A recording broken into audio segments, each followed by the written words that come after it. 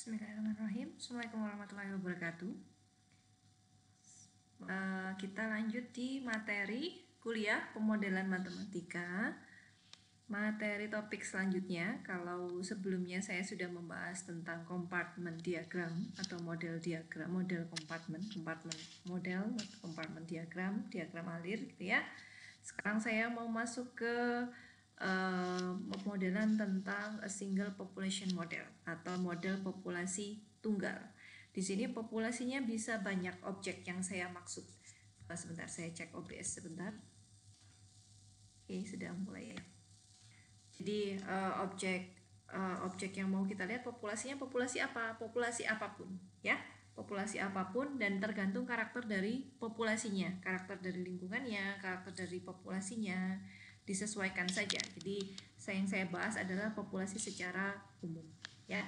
Jadi single population model. Jadi populasi modelnya tunggal, satu jenis. Kita nggak ngomongin uh, populasi dengan dua jenis spesies yang berbeda ini saya anggap hanya ada satu jenis populasi.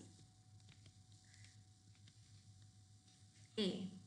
Untuk kompartemen model secara umum yang sudah saya bahas pada pertemuan selanjutnya, kalau kompartemen model ada kotak yang kita sebut sebagai kotak proses, black boxnya itu adalah proses, ada input, aliran masuk, dan ada output. Sekarang secara umum model kompartemen itu bisa kita anggap sebagai katakan saya punya world. World. We have a world. Oke okay, dunia. Dunia itu isinya berbagai macam. Berbagai macam spesies. Oke okay? kita lihat spesies kita saja. Manusia ada kelahiran dan juga ada kematian. Sebenarnya nggak hanya manusia sih semua populasi spesies ada pertambahan kelahiran atau ada dan ada kematian ya. Sehingga ada keseimbangan di muka bumi ini. Karena tidak ada yang abadi kayak lagu ya. Oke jadi dunia world. Oh yang dimaksud world itu dunia bu bulat gitu ya atau dunia datar. Oke semoga di sini tidak ada pemaham uh, yang memiliki pemahaman bahwa bumi itu datar ya oke jadi yang dimaksud dunia ini apa town kota bisa organisasi bisa ocean bisa jadi world ini bisa digantikan oleh berbagai macam ekosistem kita mau ngomonginnya apa hutan mau ngomongin laut mau ngomongin samudra, organisasi, kota, eh, desa, kampus ya, bebas ya. Jadi berbagai macam lingkungan yang akan kita bahas. Tetap sama bahwa model kompartemennya itu ada laju perubahan dari populasi ditentukan oleh in, uh, rate in and rate out gitu ya. Rate ini apa? Rate of birth di sini. Jadi kelahi, uh, pertambahan dari populasi itu disebabkan karena adanya kelahiran dan pengurangan dari suatu populasi, jumlah populasi itu bergantung kepada kematian. Asumsi yang digunakan untuk pertama, model yang pertama yang akan kita konstruksi bahwa populasinya itu cukup besar, sufficiently large, jadi cukup besar, lalu ada random fluctuation between individual are ignored and treat each individual as being identical. Jadi kita abaikan perbedaan-perbedaan antar individu dan kita menganggap bagaimana cara kita memperlakukan semua individu itu sama.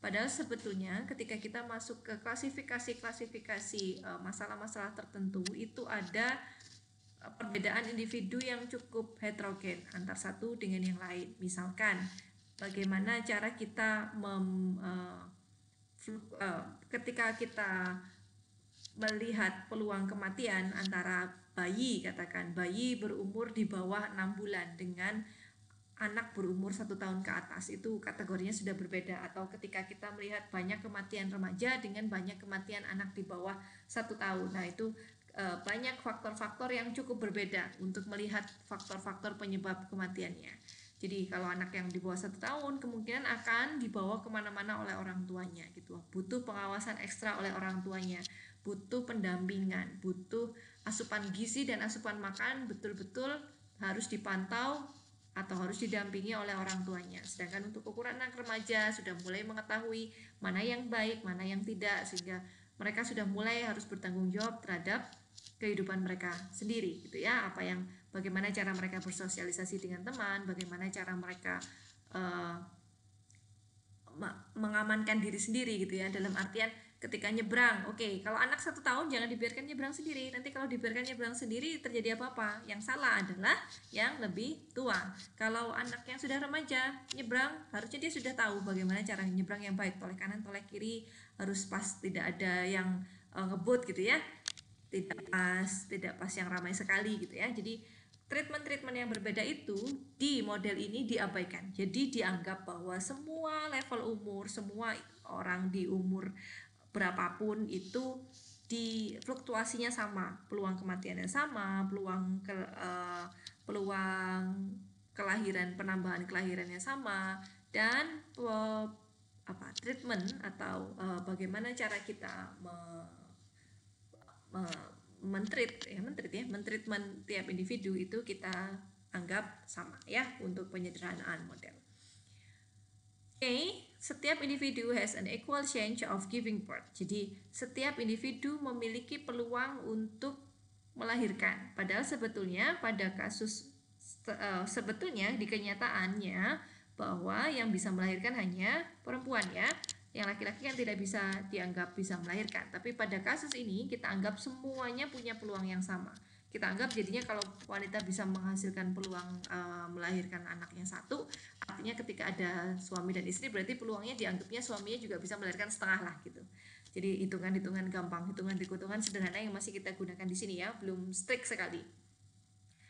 Dan uh, umur-umur individu yang masih di bawah umur juga dianggap bisa melahirkan atau belum masa puber gitu ya itu bisa melahirkan atau bisa memberikan uh, memberi memiliki peluang kelahiran yang sama dengan individu yang sudah dewasa gitu ya dengan uh, kelahirannya sebesar beta per unit time.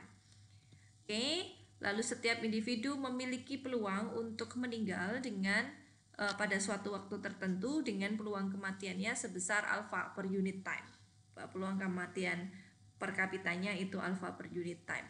Jadi berapapun umurnya punya peluang kematian yang sama. Padahal ketika kita klasifikasikan sesuai struktur umur, biasanya uh, kurva demografi menunjukkan bahwa peluang kematian orang yang semakin semakin uh, umur lanjut itu lebih tinggi dibandingkan yang umur produktif, ya.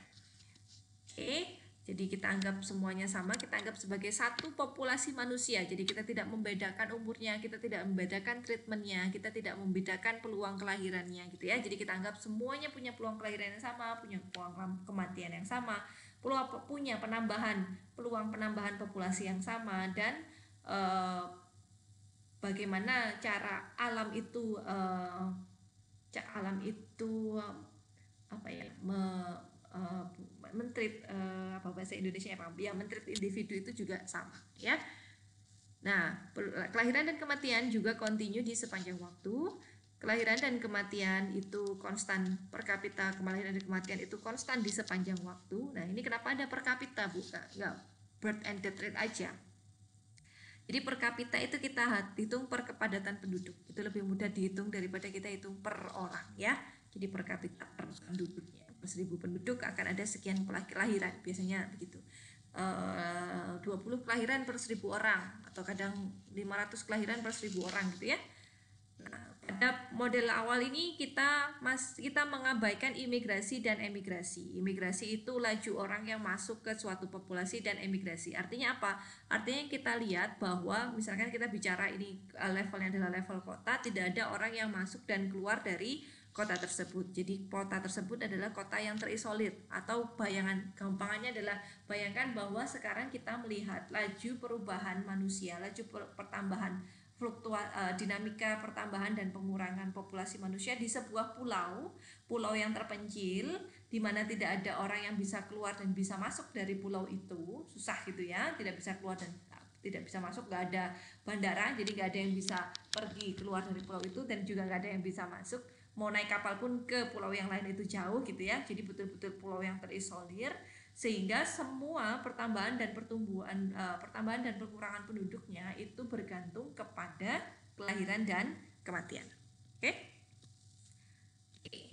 jadi uh, kalau kita bilang untuk misalkan saya anggap dunia ini sebagai pulau terpencil tadi karena tidak ada orang yang bisa keluar dan masuk dari dunia ini. Artinya tidak ada yang bisa pindah ke dunia ke ke ke planet lain gitu ya belum ada yang mampu untuk pindah berpindah tinggal di planet lain. Jadi semuanya hanya semua orang yang ada di dunia ini bisa datang dengan kelahiran masuk ke dunia ini dan bisa pergi dari dunia ini dengan kematian, gitu ya. Jadi eh, di dunia tahun 1990 laju kelahiran per tahun per individu itu sebesar 0,027 Artinya apa? Artinya ketika ada 1000 orang di sebuah populasi maka akan ada 27 kelahiran bayi baru di tahun berikutnya. Untuk alfa atau laju kematian per tahun per individu itu diperoleh nilai 0,01 individu per tahun. Artinya ketika ada 1000 eh, populasi atau 1000 manusia di dunia, maka yang meninggal di tahun berikutnya adalah sebanyak 10 orang. Nah, untuk nilai 0,027 dan 0,10 jika kalian lihat secara langsung dilihat secara eksplisit terlihat bahwa laju kelahiran ini lebih besar daripada laju kematian. Ini baik ya. E, menurut saya baik. Kenapa? Karena ketika laju kelahirannya lebih besar daripada laju kematian, artinya itu memang alaminya harusnya seperti itu. Artinya di jangka panjang tidak e, kemungkinan populasi atau spesies manusia itu punah itu cukup kecil dan itu cukup mengembirakan. Tentunya kita tidak ingin spesies manusia punah ya. Ketika laju kematiannya lebih tinggi daripada laju kelahiran individu, ini mengkhawatirkan. Kenapa? Karena kalau dibiarkan, umur manusia itu kan tidak akan pernah kembali muda, selalu bertambah. Dan ketika laju kematiannya semakin tinggi semakin tinggi dibandingkan laju kelahiran, artinya umur produktif juga semakin sedikit. Lama kelamaan spesies tersebut bisa punah. Nah, ini e, kalau kalian bandingkan untuk rasio, saya bilang rasio di sini ada di sini. Oke, ada di sini dulu. E, saya langsung lanjut saja. Jadi ini e, model kompartemen untuk populasi adalah laju kelahiran dikurangi laju kematian ya. Nah, sekarang kita masuk ke model eksponensial. Jadi model distribusi eksponensial adalah distribusi natural untuk model kompartemen. Kenapa? Karena dari solusi uh, dari dari uh, formula matematik model yang kita konstruk di slide sebelumnya. Jadi saya bisa peroleh laju perubahan populasi manusia atau X itu sama dengan laju kelahiran dikurangi laju kematian atau disimbolkan dengan Rx di mana R-nya adalah beta dikurangi alfa. Tentunya dengan R-nya bisa positif kalau secara matematis ya, R-nya punya beberapa kemungkinan, bisa negatif, bisa sama dengan 0 atau positif dengan suatu nilai awal x0 sama dengan x0. Oke. Okay. Oke, ketika R lebih dari sama dengan 0, eh, sorry, ketika R lebih dari 0, model describing an, an exponential growth. Tapi ketika R kurang dari 0, model describing exponential decay. Ini seperti uh, uh, solusi atau kalau uh, sekalian sudah menyimak materi kuliah saya tentang diagram kompartemen diagram, di situ saya menjelaskan tentang radioactive decay. Radioactive decay itu diperoleh ketika uh, solusinya berbentuk eksponensial dengan pangkat negatif. Ya, jadi dia akan selalu turun di sepanjang waktu. Ketika uh, koefisien eksponennya itu positif, maka dia akan menjadi model exponential growth, pertumbuhan secara eksponensial. Kalau R kurang dari 0, maka dia akan menjadi pertumbuh peluruhan eksponensial. Kalau dia akan turun gitu ya. Solusi dari e, persamaan nilai awal yang ada di sini itu kalau dicari solusinya adalah xt sama dengan x0 e pangkat rt ya. Nah, ini hal yang menarik R. Oke, jadi R sendiri adalah beta dikurangi alfa. Oke, beta dikurangi alfa. Pada tahun 2000-an itu seingat saya beberapa negara di Eropa itu mengalami uh, memiliki nilai R atau growth rate atau reproduction rate uh, di, di negaranya itu negatif. Contohnya adalah negara Jerman, ada juga di Inggris dan juga di Jepang, seingat saya yang Asia itu. Jadi artinya apa? Itu cukup mengkhawatirkan. Kenapa? Karena uh, kurva piramida penduduk mereka itu kurva demografinya itu jadi lebih banyak umur-umur yang berusia lanjut. Memang itu adalah efek positif ketika kesejahteraan para kaum lansia sangat diperhatikan oleh negara ya. Jadi peluang kematian lansia semakin mengecil dan kemandirian lansia juga semakin meningkat, kesejahteraannya semakin meningkat, tetapi tidak diiringi dengan produktivitas dari eh, umur-umur produktif untuk bereproduksi gitu ya. Kalau di Jepang itu mungkin karena mereka sibuk dengan karir dan lain sebagainya sehingga umur-umur uh, orang yang produktif itu lebih memilih untuk tidak menikah mungkin, untuk memilih untuk tidak punya anak walaupun mereka punya pasangan begitu juga dengan orang-orang yang di Jerman gitu. Mereka lebih fokus dengan uh, karir mereka. Mereka lebih lebih merasa lebih uh, apa ya lebih mudah merawat hewan peliharaan seperti kucing anjing gitu ya daripada harus punya anak yang artinya mereka harus bertanggung jawab dari anak ini kecil sampai anak ini besar. Itu juga karena mereka uh, adatnya di Jerman itu memang ya karena orangnya sangat tanggung jawab dan disiplin ya. Jadi ketika mereka punya anak pun mereka nggak main-main gitu. Jadi pengen semuanya tercurahkan ke anaknya dan jangan sampai anaknya diasuh oleh oleh orang lain gitu ya sehingga hal itu prinsip-prinsip seperti itu untuk di negara seperti Jerman dan Jepang efek negatifnya apa? Membuat reproduction rate atau angka reproduksinya itu bernilai negatif. Artinya apa? Artinya kalau kita bedah lagi reproduction rate itu kan selisih antara laju kelahiran dikurangi laju kematian.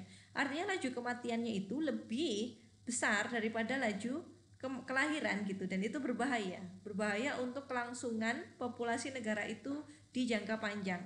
Oleh karena itu untuk mengakali ke, populasinya punah gitu ya. Pemerintah itu dan sebetulnya kalau ketika populasinya itu punah eh, efek sampingnya atau efek negatifnya juga kekurangan eh, tenaga kerja di beberapa bidang-bidang tertentu gitu. Akhirnya langkah yang dipilih oleh Jerman adalah membuka keran imigrasi. Jadi mereka me, me, me, memperbolehkan uh, orang luar negeri, orang yang bukan negara negara bukan warga negara Jerman untuk bisa bekerja di Jerman gitu ya, untuk tinggal di Jerman tentunya dengan mengikuti peraturan-peraturan yang ada di Jerman gitu.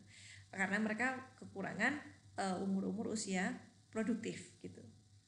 Gitu juga dengan Jepang gitu ya. Jadi sebetulnya terlalu berlebihan juga tidak baik. Artinya ketika R-nya besar sekali ketika kelahirannya terlalu banyak dibandingkan kematian itu tidak baik karena akan menjadi uh, ya antara tidak ya tidak baik lah. Sesuatu yang berlebihan itu tidak baik. Ketika terlalu kekurangan juga tidak baik gitu ya. Terlalu negatif juga tidak baik. Sama dengan juga sebetulnya tidak terlalu baik. Kenapa? Ketika kelahiran dan kematian sama persis. Nah ini ketika ada suatu uh, bencana alam kita nggak tahu ya. Jadi itu langsung tiba-tiba kestabilan kesama dengan tadi bisa langsung berubah cukup drastis Artinya kematiannya bisa langsung meloncat lebih tinggi daripada kelahiran dan itu juga sangat berbahaya untuk kelangsungan uh, sebuah negeri gitu ya.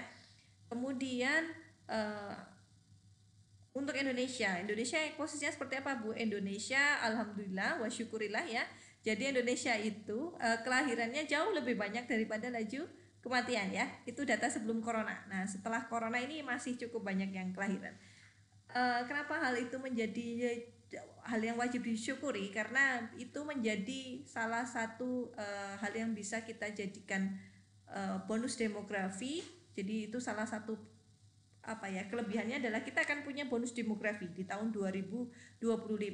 Tetapi tetapi juga bisa menjadi bencana demografi ketika kita tidak bisa mengap, uh, menempatkan SDM SDM yang banyak tadi di tempat-tempat yang sesuai gitu ya. Ketika tidak ada lapangan kerja yang sesuai, maka persaingan akan semakin tidak karu-karuan ya. Angka kriminalitas juga bisa meningkat. Jadi yang paling bagus apa? Yang paling bagus adalah tidak terlalu besar dan tidak terlalu kecil ya. Jadi pas lah sedang gitu ya, di tengah-tengah.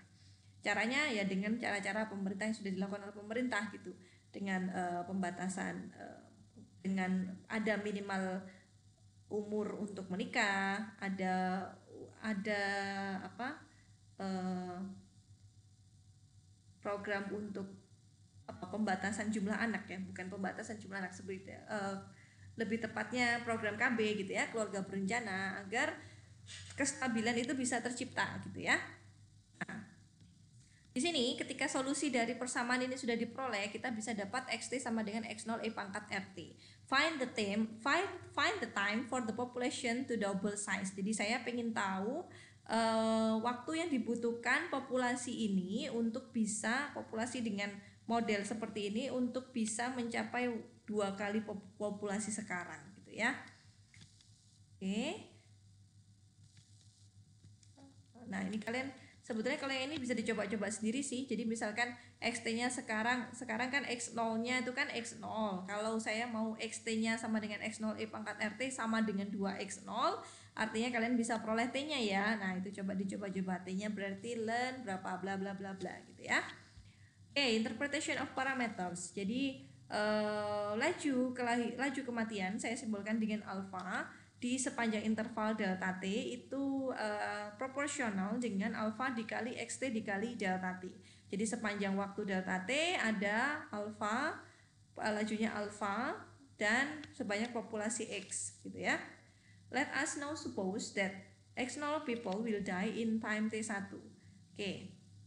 Jadi kita asumsikan bahwa uh, ada sebanyak x0 orang yang akan meninggal di waktu t1 gitu. Misalkan xt-nya adalah x0 dan delta t-nya adalah t1. Jadi artinya t0 kita 0 dan delta t-nya t1. Then we have bahwa x0-nya akan sama dengan a di alpha dikali x0 dikali t1. Artinya apa? Artinya alfanya akan sebesar 1 per t1. Nah, t1 ini kan banyak uh, berapa banyak orang yang meninggal di waktu setelah T1 hari gitu ya. Artinya T1 ini kita lihat sebagai rata-rata atau average life expectancy atau ekspektasi lama hidup dari manusianya. Per kapita death rate di negara berkembang itu se, uh, biasanya sebesar 0,007 uh, eh, per years atau 7 orang 7 kematian per 1000 orang per tahun. Jadi kalau ada 1000 orang yang mati 7 7 kematian gitu. Jadi kalau kita saya memberi nilai alfanya 0,07. Oke, okay, 0,07 itu artinya 7 kematian per 1000 orang gitu ya. The average life expectancy itu uh, kira-kira lama waktu hidupnya berarti berapa? Berarti seper alfa. Seper alfanya berapa? Alfanya 0,07 berarti seper alfanya adalah 1 per 0,007 atau 140 tahun gitu ya. Kalau dikembalikan ini kan rata ekspektasi lama hidup ya ini nggak masuk akal untuk manusia saat ini ya kalau pada zamannya Nabi mungkin ya tapi kalau pada manusia sekarang pada zaman sekarang itu saya rasa ini terlalu tinggi gitu ya is too high for untuk uh, manusia bisa hidup sampai 140 tahun karena Nabi kita saja Nabi Muhammad SAW itu hanya uh, beliau uh, belum tidak sampai 70 tahun ya oke okay. nah The real age distribution does not approximately follow an exponential distribution. The population fall of rapidly at older age. Jadi uh, ini kalian bisa otak-atik berarti yang cocok berapa Bu? Apakah 0,07? Silahkan dicoba-coba. Kira-kira berapa orang yang masuk akal untuk meninggal ketika uh, per tahunnya. Jadi angka angka kematian untuk 1000 orang itu ada berapa yang meninggal? Kalian bisa cek di data BPPS di data survei uh, penduduk Indonesia ya jadi bisa kalian hitung-hitung dan kalian coba-coba sendiri cocok nggak berarti kira-kira life ekspektasi untuk Indonesia berapa gitu ya bisa dicoba-coba sendiri the real age distribution does approximately follow an exponential oke okay. jadi uh, sebetulnya distribusi kemat distribusi distribusi umur dari manusia itu tidak uh, tidak hanya atau tidak bisa kita tuliskan sebagai satu-satunya sebagai distribusi eksponensial. Jadi kita samakan dari yang umur paling kecil sampai umur paling tua gitu. Sebetulnya itu masih bergantung dengan uh, umurnya. Jadi laju kematian atau apa ya uh, ekspektasi lama waktu hidup itu biasanya makin mengecil ketika umurnya makin tua. Jadi ketika semakin tua setara data statistik biasanya angka kematiannya akan semakin tinggi artinya life ekspektasinya juga akan semakin rendah itu kenapa ketika pembayaran asuransi maka ketika dilihat umur ketika yang mengajukan asuransi adalah yang sudah berumur dibandingkan yang lebih muda nah biasanya kalau yang lebih berumur itu uh, premi asuransinya akan lebih mahal gitu ya uh, dan kalau yang lebih muda biasanya nggak diarahkan ke premi asuransi umur tapi premi ke asuransi pendidikan Oke, okay, density dependent growth. Jadi kepadatan um, pertumbuhan kepada uh, pertumbuhan yang bergantung kepada kepadatan populasi. Kalau sebelumnya itu pertumbuhannya hanya bergantung kepada laju kelahiran dan kematian. Sekarang populasi pertumbuhan populasinya bergantung kepada kepadatan dari populasi itu sendiri. Biasanya ketika populasi itu sudah mencapai waktu yang sangat lama, itu populasi itu itu e, mencapai suatu batasnya atau mencapai suatu titik kestabilannya, terutama berkaitan dengan keterbatasan lingkungan untuk bisa mensupport populasi tersebut di situ gitu ya. Kalau kalian menyimak e, materi pemodelan pengantar pemodelan saya di slide saya lupa di pertemuan satu atau dua itu saya membahas tentang pertumbuhan bakteri yang ada di cawan dan juga pertumbuhan bakteri yang tidak di cawan. Artinya yang di cawan itu kita paksa ketika sudah mencapai maksimum dari cawan maka bakterinya tidak bisa bertambah lagi gitu. Dia tidak akan bisa e, hidup bertumpukan dengan bakteri yang lain gitu ya atau atau jamur yang lain. Jadi jamur itu akan punya satu lokasinya sendiri dan ketika lokasi e, cawannya itu sudah penuh oleh semua jamur maka yang terjadi mereka akan saling berkompetisi satu sama lain hanya untuk mendapatkan lokasi untuk bisa hidup gitu ya untuk bisa mendapatkan nutrisi dan lokasi untuk mereka bisa hidup. Nah inilah yang dimaksud dengan pertumbuhan yang bergantung kepada kepadatan.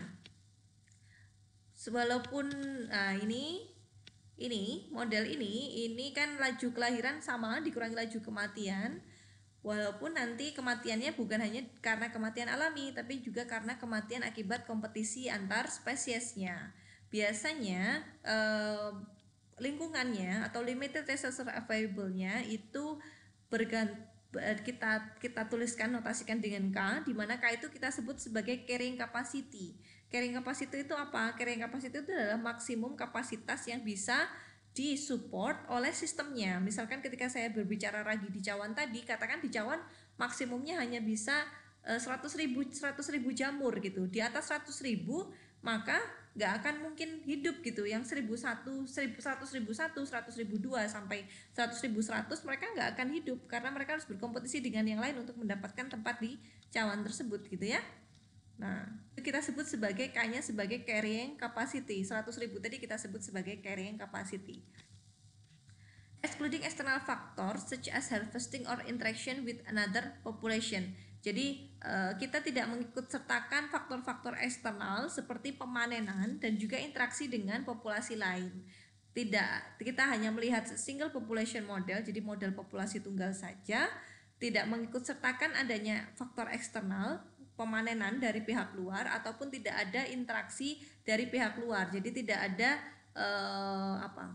Kalau ragi itu biasanya hmm, jangan lagi lah. Kalau misalkan saya punya kolam, kolamnya sudah penuh dengan ikan lele gitu ya, eh, maka saya tidak tidak bisa memasukkan populasi lain. Misalkan kucing saya taruh di sekitar kolam itu untuk makan nah itu jadi ceritanya jadi lain. Saya melihatnya ada single population modelnya saja. Nah, model untuk pertumbuhan dengan uh, bergantung kepadatan populasi itu di sini laju kelahiran tetap dengan beta, tapi laju kematiannya ada dua faktor. Faktor alfa karena laju kematian alami, sedangkan faktor gamma karena laju kematian karena dia harus berkompetisi dengan populasi dengan spesies dengan teman-temannya yang spesiesnya sama gitu. Teman-temannya yang lain dia harus berkompetisi.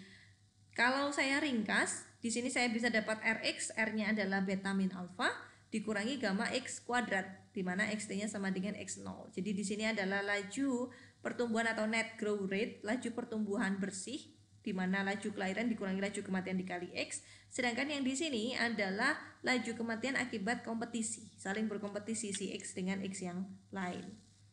Oke. Nah, atau di sini istilah saya adalah per capita dependence of death of on the population size. Jadi uh, bagaimana mereka mempertahankan dirinya di lingkungan tersebut untuk bisa bertahan hidup survivalnya ya. Nah, R itu kita sebut sebagai reproduction rate. Jadi kalau dibuat tadi bukan hanya rate of birth dikurangi normal rate of death ya, natural death ya, tapi juga dikurangi rate of death by crowding. Jadi semakin padat maka kemungkinan dia untuk bisa bertahan juga akan semakin kecil ya nah ini jadi bentuknya jadi yang ini ya interpretation Nah, ini bisa saya otak-atik lagi Rx min gamma X kuadrat sama dengan R dikali 1 min X per K dikali X gitu ya. Saya tadi sempat sebut tentang carrying capacity yaitu kapasitas maksimum dari lingkungan yang bisa mensupport populasi tersebut itu saya sebut sebagai K. Di sini adalah e, model yang ini bisa saya bentuk sebagai seperti ini di mana K-nya adalah R per gamma.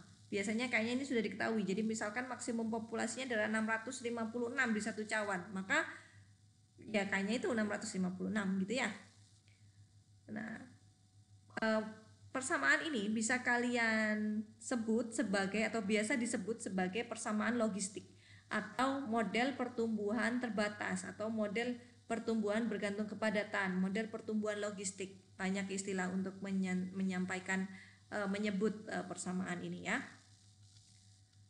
Nah, ini biasanya kita sebut sebagai fungsi Rx Rx itu merepresentasikan a population depend per capita growth rate. Jadi Rx adalah uh, pertumbuhan apa ya, populasinya itu bergantung kepada um, per capita growth rate. Jadi pertumbuhan per kapitanya.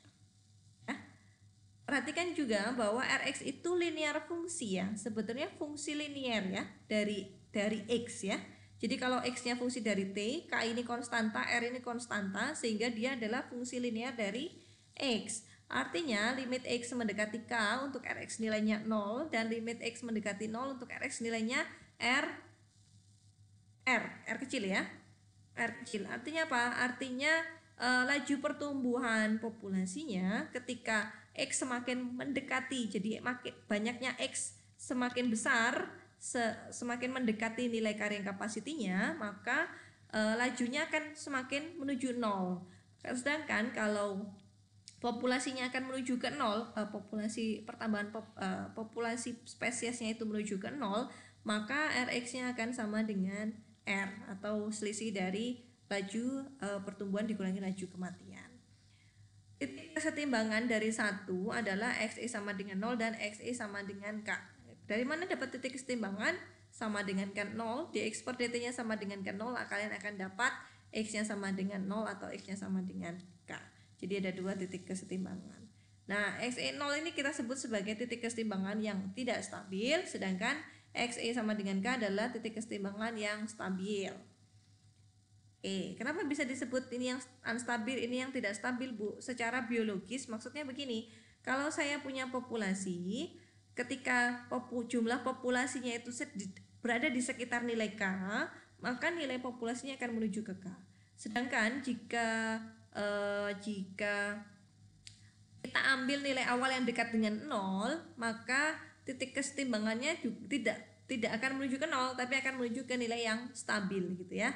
Kondisi stabil dan unstable. Uh, ini saya di, Anda pelajari di oh nggak ada ya sistem dinamik sepertinya tapi saya rasa nggak wajib ya jadi ya dipahami dulu aja nggak apa-apa nanti unstabil sama stabil ada pembahasannya sendiri saya rasa di pemodelan saya merencanakan itu oke okay. Find analytic solution dari persamaan satu dan consider the second derivative. Jadi carikan saya solusi analitik dari persamaan satu dan juga eh, tolong formulasikan turunan keduanya seperti apa.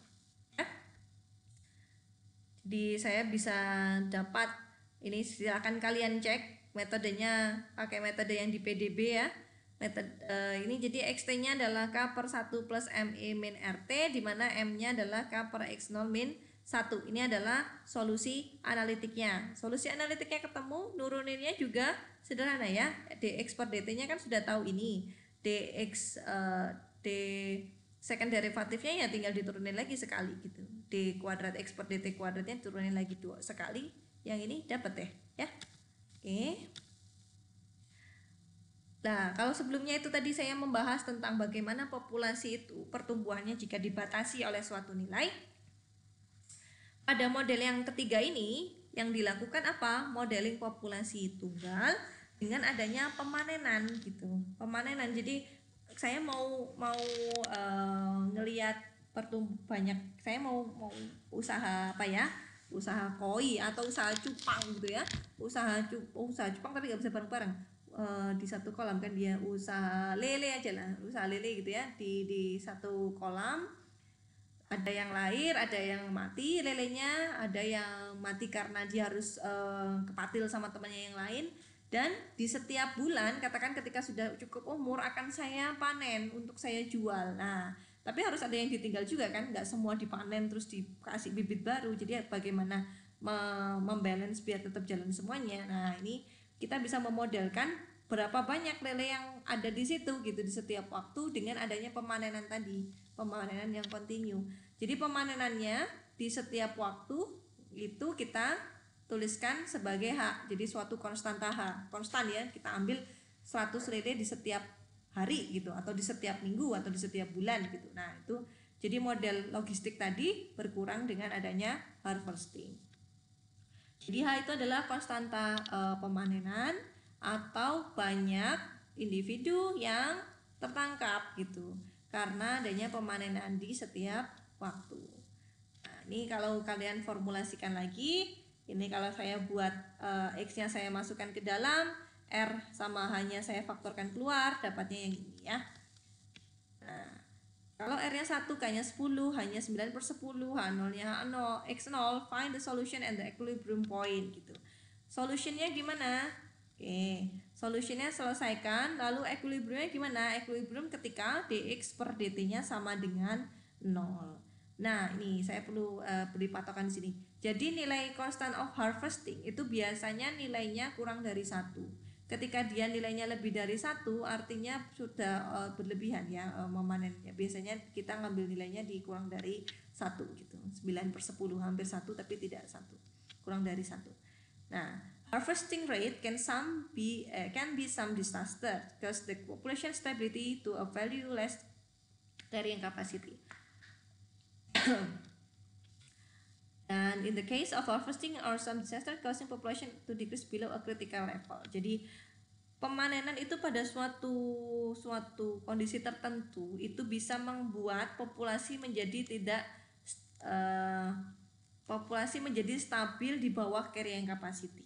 Jadi harusnya dia ditambah lele tadi bisa jadi 1000 lele yang kalau penuh banget ya tapi karena harvesting dia nggak bisa nyampe 1000 paling ya 500 gitu ya karena dia dipanen terus kan bisa eh, kadang-kadang bisa jadi suatu uh, musibah juga kenapa karena bisa membuat kalau kita terlalu banyak memanen uh, memanen memanen sumber daya yang ada itu bisa jadi jadi populasinya jadi menurun sampai level kritis gitu sampai hampir punah karena terlalu sering di panen gitu ya. Nah ini hal-hal yang sering terjadi di laut lepas sebetulnya seperti paus, hiu gitu ya. Ketika kita banyak penyu gitu ya, ketika telur penyu banyak diambil untuk dijadikan jamu, lalu penyunya itu berproduksinya sekian tahun sekali gitu ya. Dia harus ke laut untuk memendam itu telurnya di pinggir laut lalu meninggalkan telurnya berarti kemungkinan telurnya untuk bisa menetas jadi penyu kecil itu juga kecil belum lagi ketika dia dilepas ke pantai itu diambilin orang si penyu kecil belum lagi penyu yang besar-besar itu dipanen gitu ya dipanen untuk dijadikan uh, hiasan gitu hanya sekedar dijadikan hiasan. Makanya sudah dikategorikan sebagai spesies yang hampir punah jadi tidak boleh untuk dipanen uh, atau di di apa istilahnya bukan dipanen diburu. Nah tidak boleh untuk diburu. Jadi penting gitu level harvestingnya juga harus harvesting atau pemanenannya itu harus dihitung gitu nggak nggak sembarangan begitupun ketika kita me, me, nelayan mengambil ikan di laut itu harus bisa e, memperhitungkan. Sebetulnya memperhitungkan bukan nelayannya tapi pemerintahnya dengan membuat kebijakan-kebijakan sehingga e, kebijakan yang menunjang gitu ya yang menunjang dengan keseimbangan alam sehingga ikan-ikan juga tetap ada tetap lestari kita tidak kehabisan mak tidak tidak kehabisan ikan untuk dimakan karena hanya keserakahan kita untuk bisa memanen di satu waktu gitu ya tanpa peduli di waktu yang akan datang. Oke, okay? sekarang kita masuk ke discrete population growth and chaos. Jadi kalau sebelumnya saya mengajak kalian tentang single population uh, uh, pertumbuhan populasi tunggal dengan menggunakan sistem persamaan diferensial biasa, sekarang kita masuk ke pertumbuhan populasi dengan discrete pengantar saja discrete jadi bedanya discrete sama continue apa ada yang tahu Oke, dibuka lagi ya. Jadi kalau discrete itu artinya waktunya itu ber berjangka gitu, nggak continue. Discrete itu sebetulnya bahasa gampangnya nggak continue gitu ya. Eh, bukan nggak continue yang bolong fungsi di tengah bukan, tapi artinya eh, ketika untuk mengambil data dari satu data ke data yang lain itu kita ada missnya gitu. Jadi kita harus hitungnya jadi dari satu hari, kedua hari, ketiga hari, keempat hari kita melihatnya sebagai data-data yang tidak kontinu atau data discrete gitu. Nah, biasanya beberapa uh, asumsinya apa? Bahwa populasi kapan bisa pakai yang discrete gitu ya? Bahwa populasi itu berubah uh, mengikuti interval waktu discrete. Ini berkaitan dengan breeding season gitu. Jadi musiman. Ada beberapa spesies uh, hewan yang untuk ber apa berkembang biak dia musiman gitu. Nggak bisa setiap hari tapi ada musim-musimnya gitu ya. Kayak beruang kayak uh, banyak lah jenis-jenis hewan yang musiman gitu hidupnya uh, berkembang biaknya secara musiman. Nah ini artinya apa? Artinya kita tidak bisa menggunakan model matematik uh, pertumbuhan populasi kontinu tadi. Biasanya menggunakan yang diskrit ini. Lalu populasi berubah dari kelahiran dan kematian saja gitu ya jadi jadi ini uh, ini masih diskret yang hanya bergantung kelahiran dan kematian, burung bergantung kepada kepadatan penduduk, masih yang sederhana. Kematian itu uh, diakibatkan karena kematian alami dan juga karena crowding effect atau uh, berkompetisi antar spesiesnya. Sehingga saya bisa peroleh model diskretnya ini ya. Jadi model diskret itu ada indeksnya di bawah. Kalau di model kontinu saya pakai dx per dt, kalau di sini saya pakai xn plus 1 min xn, ini delta x-nya. Delta x-nya ada uh, sama dengan banyak yang lahir di waktu xn dikurangi banyak yang mati di waktu xn dikurangi banyak yang mati karena berkompetisi antar spesiesnya sebanyak gamma kali xn kuadrat. N-nya adalah 0, 1, 2, 3. Nah ini bisa kalian olah kan ya xn plus 1 di sebelah kiri xn yang ini dibawa ke kanan artinya untuk setiap iterasi saya bisa peroleh solusi x N-nya. Dan itu bisa diplot ya. Nah, ketika R-nya B min alpha dan gamanya R min K, saya peroleh bentuk seperti ini. Ini adalah bentuk formula bentuk lain aja dari formula yang pertama. Nah, persamaan ini kalau sebelumnya ini saya punya uh, logistik de, uh, persamaan logistik ya, persamaan pertumbuhan logistik. Kalau dalam bentuk xn plus 1 dan xn ada xn dan xn plus 1, persamaan ini kita sebut sebagai persamaan logistik dis discrete ya discrete. Karena n-nya itu jadi bilangan asli uh, bukan asli bilangan cacah dari 0 1 2 3 4 5 dan seterusnya. Tidak merupakan uh, apa interval yang kontinu atau garis yang kontinu ya ini dengan time lag jadi time lag itu apa sih Bu tundaan jadi waktu tunda kalau kita mengasumsikan bahwa persamaan logistik itu diaplikasikan di waktu yang lebih dulu atau T min tau, where tau merepresentasikan waktu tunda di antara kematian uh, increased death, uh, time delay between increased death and the resultant decrease in population reproduction. Jadi ini ceritanya adalah ada waktu tunda. Oke, ada waktu tunda dari satu satu individu itu mati sampai satu individu itu lahir. Jadi ketika ada yang satu mati nggak langsung tiba-tiba ada satu lahir, nggak tapi ketika satu mati beberapa hari kemudian baru ada satu yang lahir. Nah, itu artinya ada waktu tunda yang berperan di situ ya. Tidak serta merta langsung ujuk-ujuk meninggal terus ada yang uh, lahir gitu enggak. Ketika ada muncul waktu tunda, persamaan diferensialnya disebut dengan persamaan diferensial dengan waktu tunda.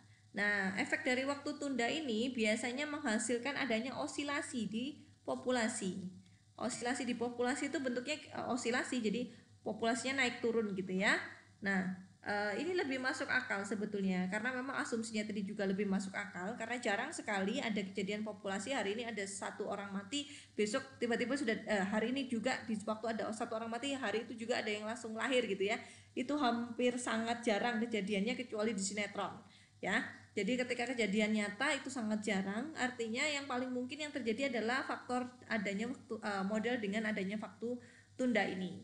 Nah, efeknya apa? Adanya osilasi dan ini juga masuk akal ketika kita kembalikan ke uh, permasalahan dunia nyata. Kenapa? Karena uh, osilasi apa ya? Uh, kita, kita secara nggak kalau kalian mau mencoba mencari datanya juga boleh jadi sebetulnya ketika kalian amati dari bulan ke bulan atau dari minggu ke minggu untuk suatu spesies itu dia ada fluktuasinya. Ada posisi ketika dia sangat naik, lalu ada dia posisi agak turun, lalu dia naik lagi, dia turun lagi, dia naik lagi gitu. Jadi osilasi ini yang lebih sering terjadi di kehidupan nyata. Nah, itu lebih masuk akal untuk dijadikan model uh, pertumbuhan pertumbuhan populasi single ya, pertumbuhan populasi tunggal. Tapi untuk mata kuliah pemodelan matematik tidak perlu sampai yang waktu tunda, analisanya juga ini lebih rumit, jauh lebih rumit daripada yang sederhana. Jadi untuk yang kuliah pemodelan, saya mengajak kalian untuk meng menganalisa yang model-model sederhana dulu. Jadi ketika model sederhana kalian sudah bisa mengkonstruksi, sudah bisa mencari solusi, sudah bisa menginterpretasi, itu sudah apa tujuan kuliah pemodelan saya. Jadi ini sebagai pengantar saja ya. Kalau ada yang mau ngambil di tugas akhir boleh. Oke, ini ada tugas yang bisa dicoba.